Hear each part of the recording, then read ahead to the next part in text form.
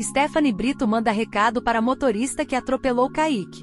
Olá pessoal, bem-vindos de volta ao nosso canal. Hoje trazemos uma notícia emocionante sobre a atriz Stephanie Brito. Nesta quinta-feira, 7 de setembro, ela decidiu enviar um recado muito especial para o motorista que atropelou seu irmão, Kaique Brito, no dia 2 de setembro. Vamos conferir. Stephanie Brito. Olá pessoal.